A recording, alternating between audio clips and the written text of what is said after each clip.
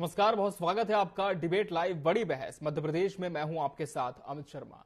प्रदेश में अवैध कॉलोनियाँ ना बने, इसके लिए सरकार कड़ा कानून बनाने जा रही है। दरअसल पिछली सरकार में अवैध कॉलोनियों को वैध करने की घोषणा करने वाली भाजपा अब इस मसले का नए सिरे से निराकरण करने की तैयारी में है। इन्हें वैध करने के बजाय नया कानून लाकर संबंधित कॉलोनाइजर पर राष्ट्रीय सुरक्षा कानून, यानी कि रासुका लगाया जाएगा। कार्रवाई सिर्फ़ यहीं तक सीमित नहीं रहेगी। जिस इलाके में अवैध कॉलोनी बनेगी, वहाँ के तहसीलदार और नगर निगम के जोनल अफसर से लेकर पटवारी तक पर सीधे कार्रवाई होगी। देखिए इस रिपोर्ट में।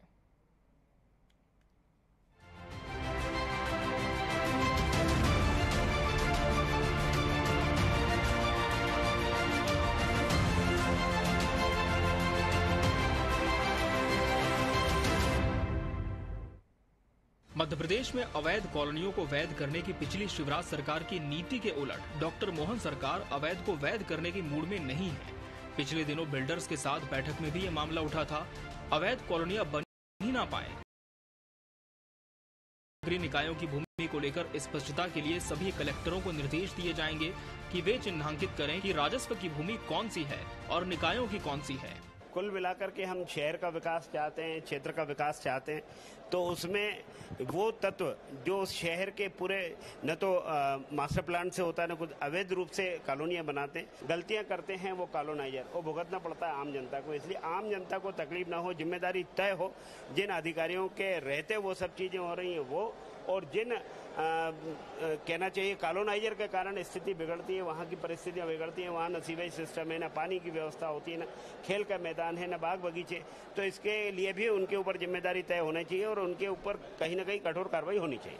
मध्य प्रदेश के सभी कलेक्टर्स को निर्देशित किया गया है कि अपने क्षेत्राधिकार में सभी कॉलोनियों का अधिग्रहण करेंगे और जिला प्रशासन द्वारा उनका डेवलपमेंट किया जाएगा।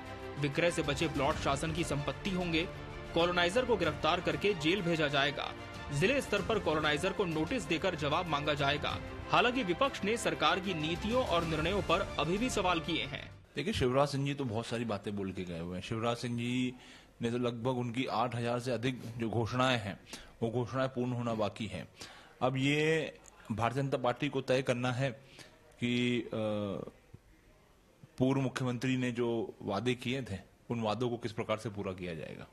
इससे स्पष्ट है कि पूर्व मुख्यमंत्री और वर्तमान मुख्यमंत्री में जो खींचतान है वो दिखाई दे रही है। जिन जिन योजनाओं को पूर्व मुख्यमंत्री जी ने मंच से घोषणाएँ करी और चुनाव जीत करके सरकार बनाई, उन सभी से किनारा मोहन यादव जी ने आकर के कर लिया है। जैसे कि आपने जो प्रश्न पूछा, इसमें भी साफ़ दिख रहा है, चूँकि ये शिवराज सिंह जी की घोषणा थी, इसलिए मोहन यादव जी ने ठीक उसके विपरीत जाने का कार्य किया है। और आ, मुझे तो लगता है कि भाजपा के अंदर जो अंतर कला है जो वो कांग्रेस पे कहती है जो आरोप मरती है वो इससे बड़ा उदाहरण जीता जागता हो नहीं सकता है। विधानसभा चुनाव 2023 से पहले तत्कालीन मुख्यमंत्री शिवराज सिंह चौहान ने अवैध कॉलोनी को वैध करने का ऐलान कर दिया था। इस फैसले की चर्चा पूरे प्रदेश में हुई थी लेकिन चुनाव में प्रचंड जीत के बाद भाजपा ने डॉक्टर मोहन यादव को नए सीएम के रूप में चुना। शपथ लेने के बाद डॉक्टर मोहन यादव ने कहा कि अवैध तरीके से कॉलोनी बनाने से सरकार और जनता का नुकसान हुआ है। ऐसे में इन्हें वैध करना न्याय संगत नहीं है। ब्यूरो रिपोर्ट, टीवी ट्वेंटी तो अवैध, अब नहीं वैध, आज इसी विषय पर हमारी चर्चा होगी और इसके लिए हमारे साथ खास मेहमान भी जुड़ चुके हैं। हमारे साथ बीजेपी प्रवक्ता पंकज चतुर्वेदी जी जुड़े पंकज जी, बहुत बहुत स्वागत है आपका इस चर्चा में।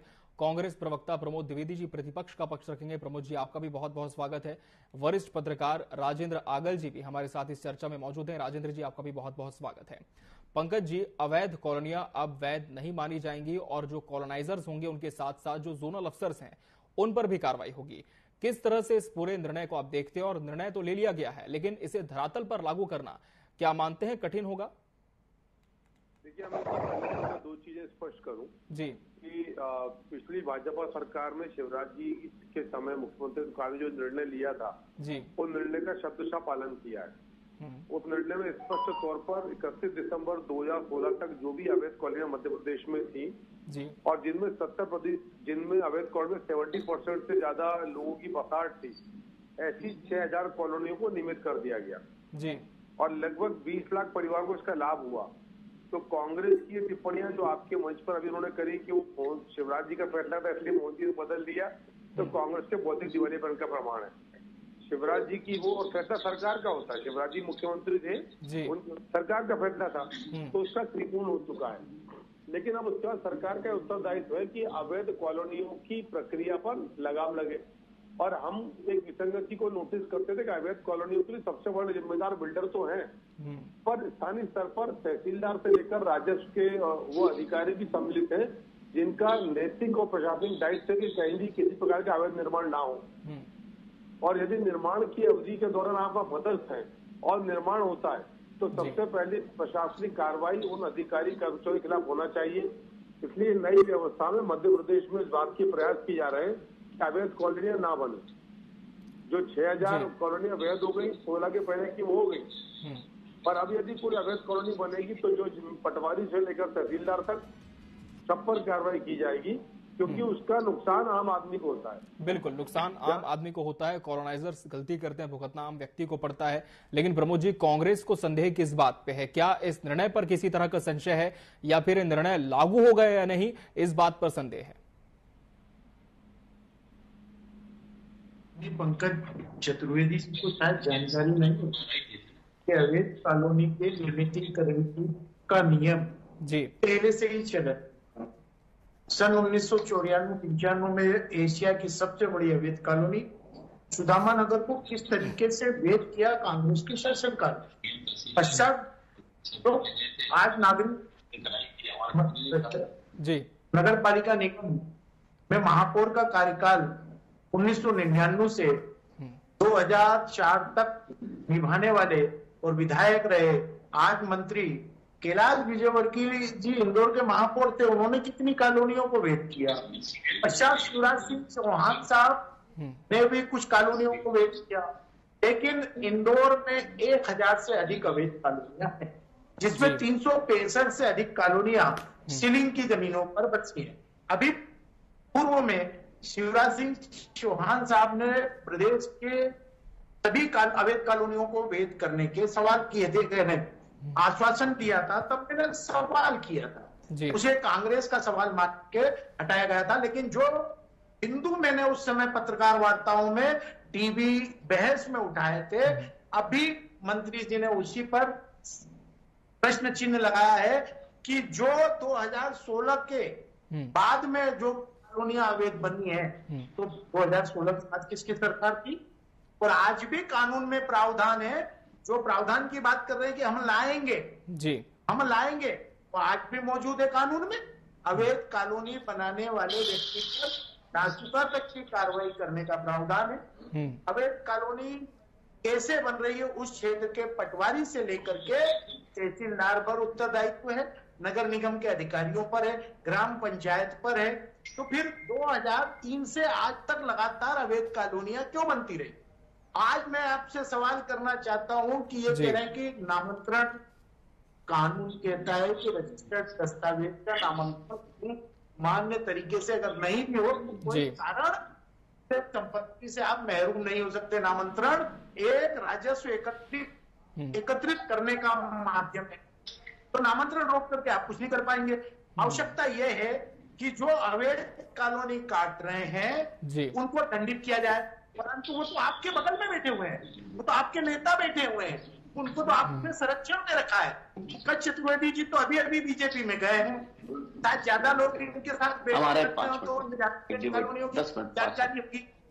मैं लेकिन मैं सन उन्नीस सौ बानवे के पहले तक का उन्नीस के पहले तक का स्पष्ट बता दूँ कि अवैध कॉलोनी कैसे बनती है उसके मूल में अधिकारी और अवैध कॉलोनाइजर होते हैं। चलिए तो कहीं ना कहीं एक बड़ा संरक्षण होता है जिसके माध्यम से इस पूरी गतिविधि को अंजाम दिया जाता है। कांग्रेस का एक कहना है लेकिन राजेंद्र आगल जी ये जिस कानून की बात अभी कही जा रही है कि रासुका लगाई जाएगी जो भी जिम्मेदार होगा क्या पहले से ही आप मानते हैं इस तरह का कानून था लेकिन उस तरह से कार्रवाई नहीं हुई? और अब इस पर सक, सरकार सख्ती बरत रही है जो कि पहले बरती जानी चाहिए थी?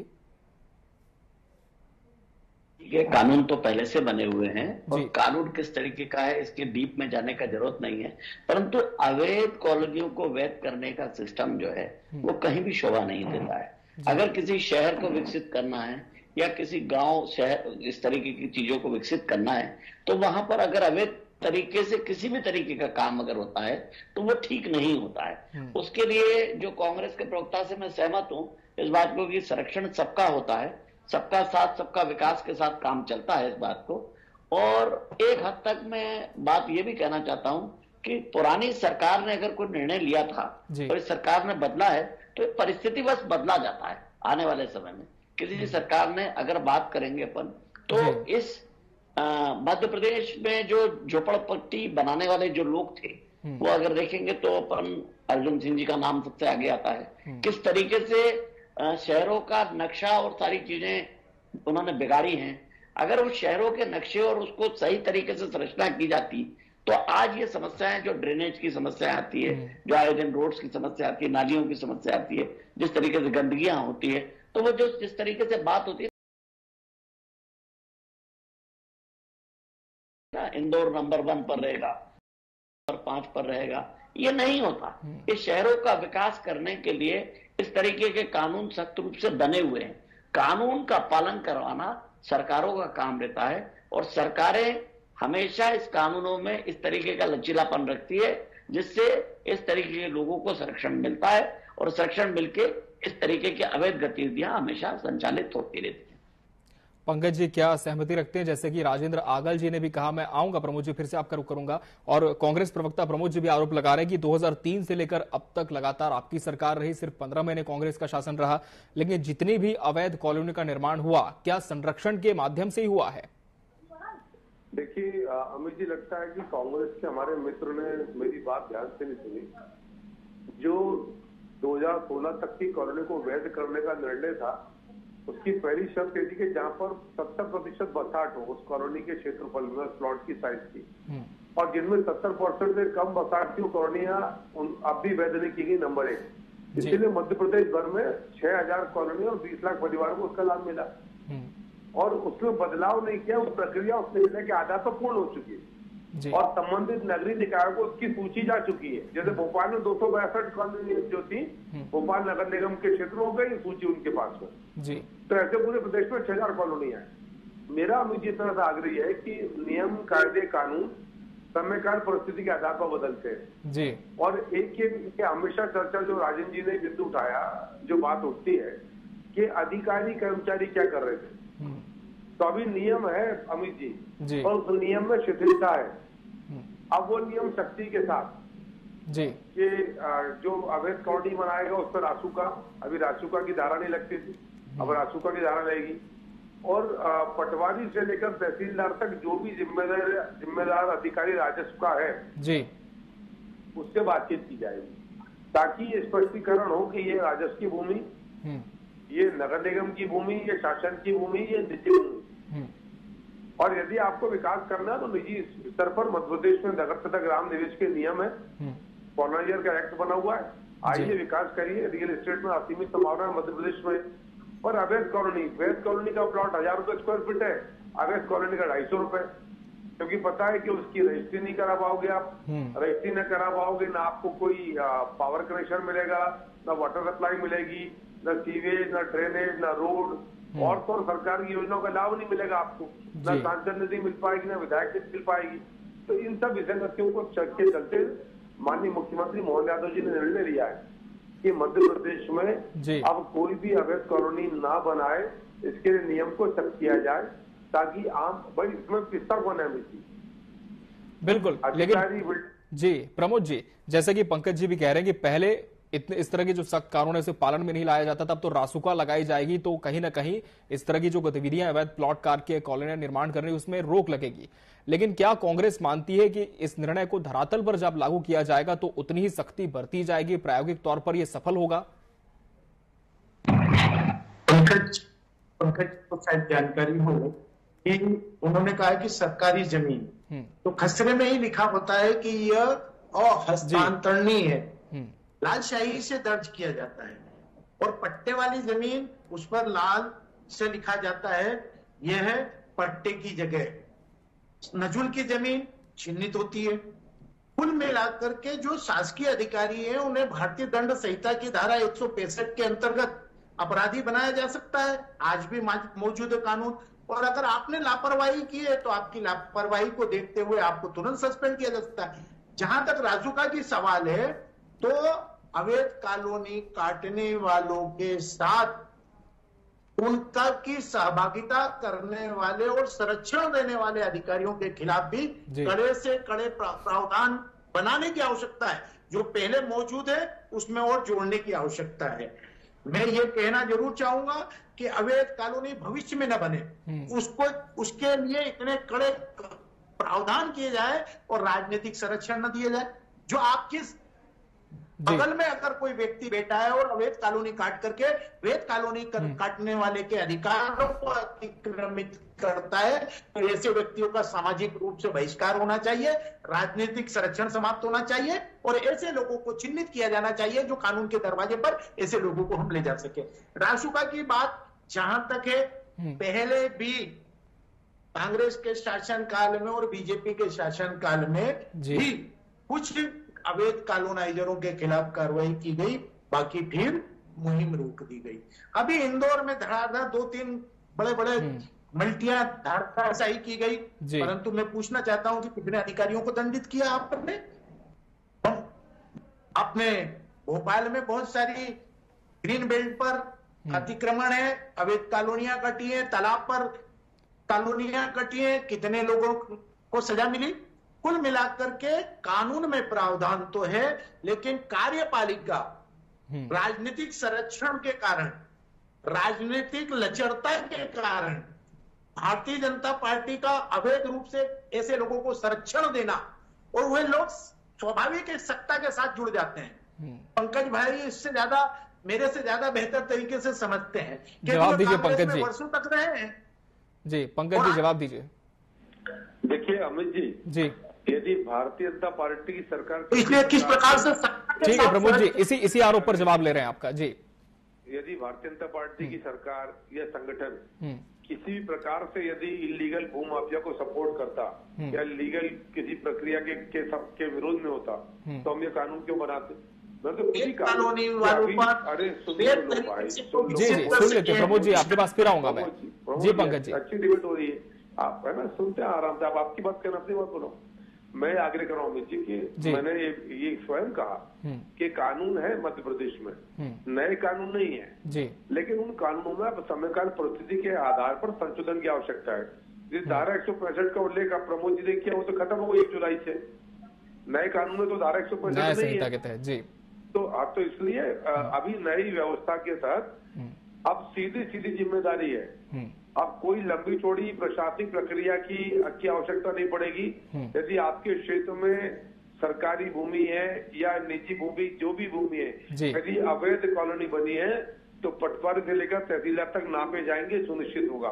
और ये सबसे महत्वपूर्ण कदम है अमित जी। जी। क्योंकि ये वो प्रशासन की कड़ी है जिनकी नज़र के से चूक होने पर उनका अपराध अक्षम हो जाता है। क्योंकि जैसा मैंने आपसे कहा कि भुगतना तो अमित जी आम आदमी को पड़ता है और हमारी चिंता भारतीय जनता पार्टी सरकार की चिंता गरीब के प्रति आम आदमी के प्रति है। राजेंद्र जी क्या अब ये उम्मीद की जाती है कि जो पूरा सिस्टम है कॉलोनी का वो अब सुचारू रूप से चलेगा? अवैध प्लॉटिंग बंद होगी और जब रासुका जैसी कार्रवाई होगी खासकर उन पर भी जो क्षेत्रीय स्तर से ही अपना प्रतिनिधित्व करते हैं तब अब इन इस तरह की जो गतिविधि उस पर लगाम लग पाएगी? अगर होता है तो मेरी शुभकामनाएँ हैं उनके साथ जी। और सरकार में मैंने जैसा बताया है कि प्रोविज़न तो पहले से ही होता है और प्रोविज़न के तहत काम होता है नहीं होता है ये देखने की बात है। अभी आप देखेंगे कि धारा सोलह की छूट के लिए अचानक से एक धारा सोलह की छूट कभी बंद नहीं हुई है परंतु धारा सोलह की छूट धड़ल्ले से चलने लगी।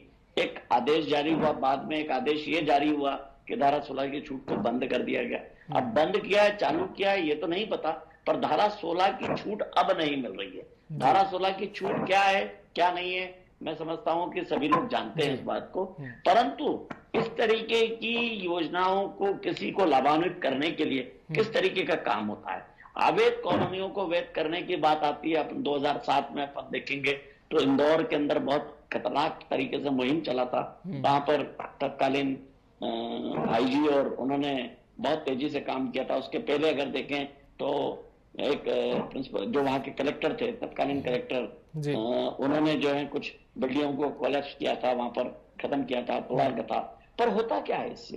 ये जो कुछ भी होता है भोपाल इंदौर उज्जैन जबलपुर ग्वालियर ये यही शहर गिने जाते हैं अगर शहरों को देखने की बात करें तो इन्हीं शहरों शहरों के अंदर ही अवैध गतिविधियों का संचालन होता है। और ये जितनी कॉलोनियाँ बनी हैं ये कहीं ना कहीं किसी न किसी इन्फ्लुएंस से पोषित है। और पोषित होकर ही। यहाँ तक ये पहुँचे। हम्म। अब अवैध कॉलोनियाँ जो बन चुकी हैं उसमें जो शहरों का नक्शा खराब हो गया है उसकी चिंता कौन करता है? उसकी चिंता अब जब हो गया सारा काम हम्म। तो हम लकीर पीटने लगे कि ये हो गया है ऐसा करना है इसको हम्म। ऐसा करना है। तो कानून तो पहले से बना हुआ है। कानून को कंप्लायंस करना हमेशा मैं कहता हूँ सरकारों का काम है। और सरकारें जब तक अधिकारियों को निर्देशित नहीं करेगी ये कार्रवाई करने के लिए हम्म। तब तक ये काम चलता रहेगा। बिल्कुल और सरकार का यही दावा है कि अब अधिकारी भी नापे जाएँगे जो जिम्मेदार होंगे उन पर भी कार्रवाई होगी। तो फ़िलहाल देखना होगा कि अब सख्ती कितनी बरती जाती है और धरातल पर जो निर्णय है कितना लागू हो पाता है। बहरहाल समय हमारे पास इतना ही था इस चर्चा के लिए। आप सभी मेहमानों का बहुत बहुत शुक्रिया हमसे इस डिबेट में जुड़ने के लिए और इसका हिस्सा बनने के लिए आपका बहुत धन्यवाद। और इसी के साथ बड़ी बहस, डिबेट लाइव मध्यप्रदेश में आज के लिए फ़िलहाल इतना ही। मुझे और मेरी पूरी टीम को दीजिए इजाज़त। नमस्कार।